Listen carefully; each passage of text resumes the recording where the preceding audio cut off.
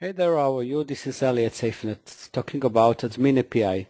Admin API is the API that allows you to control uh, everything that relates to Admin Control Center. So instead using the Admin Control Center GUI uh, and, and press and click on, on things that you want to change or see, you can use it within a program. Um, and we have uh, it in, in C, Java, and .NET applications for you. Uh, let me just show you where we can find them. Uh, if I go to um, Sentinel LDK API uh, admin, I can see here that the, it's available in C, C++, .NET, and Java. Also, there is a CHM which is very good to uh, see examples. For instance, if I go there to examples of XML, because most of the work here is in, with XMLs uh, that you define what you want to see or what you want to change. So there are different uh, uh samples here, what which XMLs and how to use them and what you can get from it, etc. So very beneficial uh, to see, but the easiest uh, thing to start with is not uh, this CHM, but uh, the toolbox. So let me just open the toolbox. As we know, the toolbox has uh, several things inside it, uh, three different uh, APIs, and one of them is the admin API that we are talking now. The very first thing that I have to start with is clicking on new or calling function new use here localhost or the other machine name and 1947 as the port and execute. I get a handle and I can proceed. I can uh, do two things, either get information from the ACC or set, change things in the ACC. So for instance, if I get information, I can say I want to get information about all the features that I have here. So I get information about the features. And for instance, I can get, uh, I can have scope of uh, just specific vendor uh, that, that is interesting for me for now, like it's the 37515, which is the DEMOMA. And here I want to get all configuration settings, and I get here a list of many, many details. So what is the configuration details?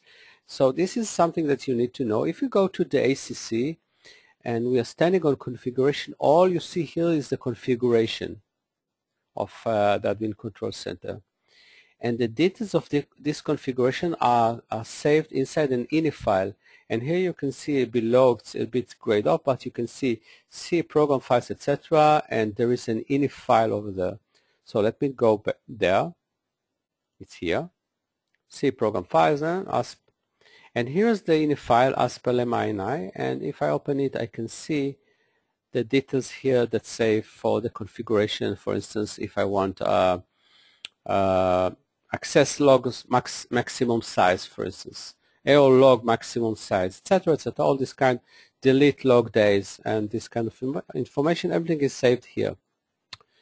So getting back to the toolbox if I uh, asked to get all the configuration, then the output would be a list of uh, XML type of all the things that are listed inside the ini file.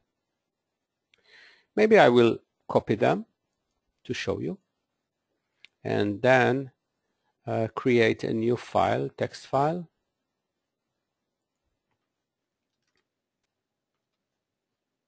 Maybe open it uh, using Notepad++ where I can uh, use plugin XML and use the line breaks and then see in the language XML so it's more convenient uh, to see the things that I, I see here.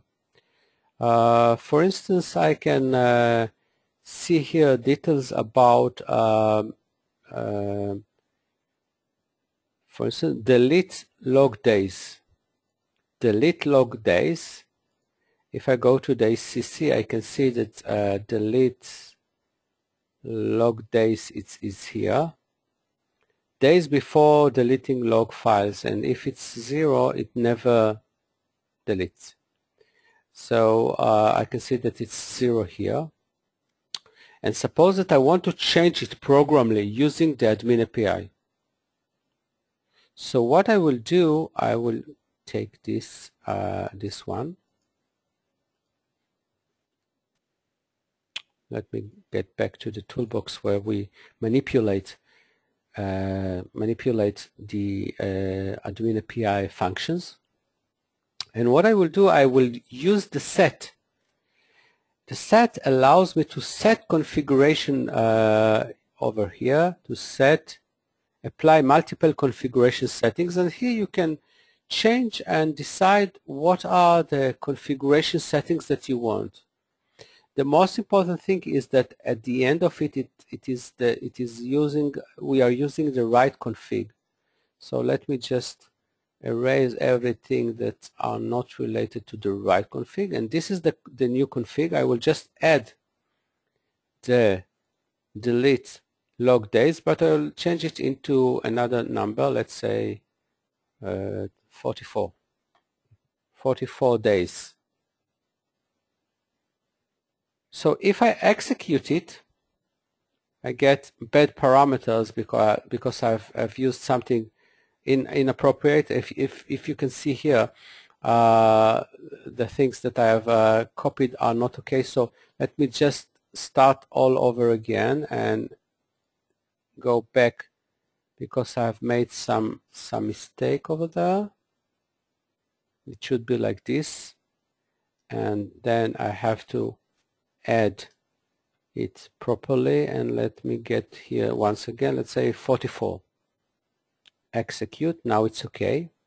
So what I'm supposed to see now is that here if I do F F5 to refresh I will see that there are 44 days instead of the zero the default one so this means that using the admin API uh, set I can change uh, default settings and of course also other things uh, in the ACC programmably.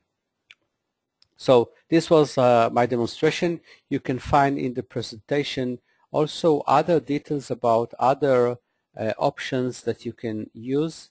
And as I said, with the documentation that we have uh, over here next to the next to the uh, sorry not here next to uh, to the admin API, you have the CHM where you can find more uh, samples how to use and the admin API to manipulate the ACC such as uh, seeing information and changing information that is important for you.